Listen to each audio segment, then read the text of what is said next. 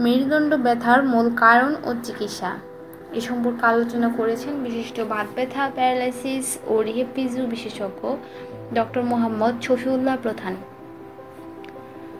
পৃথিবীতে এমন কোনো পুরুষ বা মহিলা নেই যে জীবনে কোনো না কোনো সময় মেরুদণ্ড ব্যথায় ভোগেন নাই।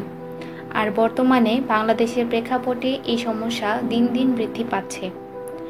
গবেষণায় দেখা গেছে, শির দ্বারা বা মেরুদণ্ড সমস্যায় বেশিরভাগ মানুষ বেশিরভাগ কারণ মেকানিক্যাল, আর ডিস্ক প্রলাপ এর অবস্থান তৃতীয়। কিন্তু বর্তমানে এই সমস্যা দিন দিন এতই বৃদ্ধি পাচ্ছে যে বিশেষজ্ঞ চিকিৎসকদের রীতিমতো ভাবিয়ে তুলছে। ডিস্ক হচ্ছে মেরুদণ্ডের দুই কশেরুকার মধ্যবর্তী কার্টিলেজ, জাতীয় এক প্রকার রাবারের মতো পদার্থ, যা মেরুদণ্ডের এক হাড়কে অপর হাড় থেকে বিভক্ত রাখে, যাতে একটি হাড় আরেকটির সঙ্গে ঘর্ষণ না লাগে এবং শরীরের ওজন এবং শর্ক অ্যাবজর্বার হিসেবে কাজ করে।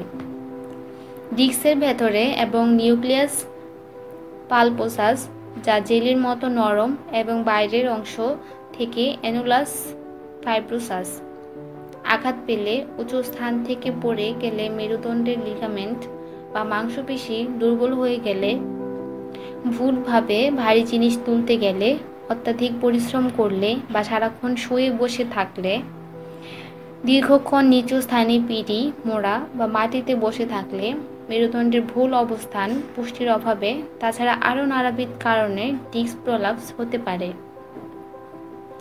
আমাদের দৈনন্দিন প্র্যাকটিসে সার্ভাইকেল চার, পাঁচ পাঁচ, ছয় এবং লাম্বার চার, পাঁচ পাঁচ, সেক্টরাল এক মধ্যবর্তী ডিস্ক প্রলাপস রোগী বেশি দেখা যায়। কোমরের ডিস্ক প্রলাপসের লক্ষণ।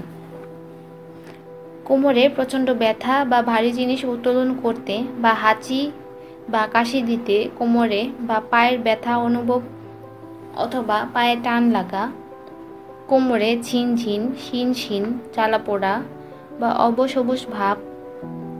এক জায়গায় অনেকক্ষণ বসে থাকলে পুরো কোমরে বা শির দ্বারা আস্তে আস্তে ব্যথা বেড়ে যাওয়া, চলাফেরা বা হাঁটাহাঁটিতে ব্যথা তীব্র থেকে তীব্রতর হওয়া, শুয়ে থাকলেও ব্যথা অনুভব হওয়া, কিছু কিছু রোগীর কোমর একদিকে বেঁকে যাওয়া, এভাবে চলতে চলতে ব্যথা কোমরে অনুভূত না হয়ে শুধু পায়ের মাংসের বা শির দ্বারায় কামড়ানোর জাতীয় ব্যথা হওয়া অনেক সময় কোমর ব্যথার পাশাপাশি প্রস্রাব বা পায়খানার অনুভূতি না থাকা বা সমস্যা হওয়া, পায়ের মাংস পেশি শুকিয়ে যাওয়া বা এক বা দুই পা প্যারালাইসিসে আক্রান্ত হওয়া, ঘাড়ের ডিস্ক প্রলেপসের লক্ষণ।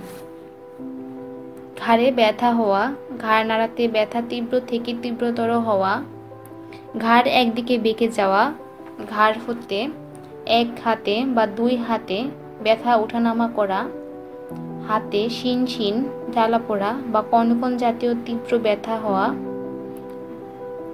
বা অনেক সময় হাত অবশ ভার, অবশ ভাব বা ভারী ভারী লাগা, আস্তে আস্তে হাতের কর্মক্ষমতা কমে আসা, হাত নিচুতে ঝুলিয়ে রাখতে অসুবিধা হওয়া এবং হাতের মাংসপেশি শুকিয়ে যাওয়া। সতর্কতা। ডিস্ক প্রলাপস হলে সম্পূর্ণ বিশ্রামে যেতে হবে। দৈনন্দিন চলাফেরা, কাজকর্ম বন্ধ রাখতে হবে। বোঝা বহন নিষিদ্ধ এবং সাধারণ শারীরিক ব্যায়াম অবশ্যই বন্ধ রাখতে হবে। কাজকর্ম বা চলাফেরা করলে সমস্যা জটিল হয়ে যেতে পারে। অবশ্যই নরম খাবার খেতে হবে যাতে কোষ্ঠকাঠিন্য না হয়।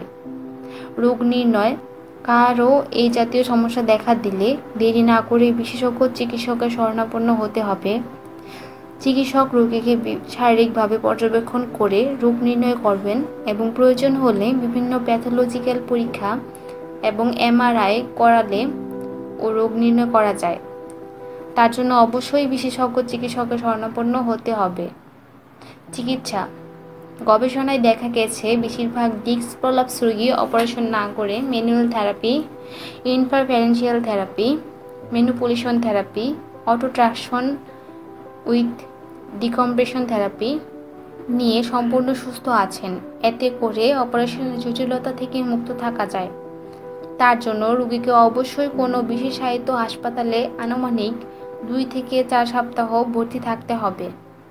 চিকিৎসা চলাকালীন সময়ে কোনো প্রকার মুভমেন্ট করা যাবে না। চিকিৎসা শেষে রোগীকে এক টানা তিন মাস নির্দেশিত এক্সারসাইজ প্রত্যহ দুই থেকে তিন বেলা চালিয়ে যেতে হবে। পস্টারাল এডুকেশন শিখে দিয়ে মেনে চলতে হবে। নিয়মিত স্বাস্থ্য বিষয়ক আপডেট ও পরামর্শ পেতে আমার ইউটিউব চ্যানেলটি সাবস্ক্রাইব করুন ও উপরের ডান পাশের বেল বাটনটি চাপুন এবং আপনাদের অন্যান্য সোশ্যাল মিডিয়ায় এই ভিডিওটি শেয়ার করুন।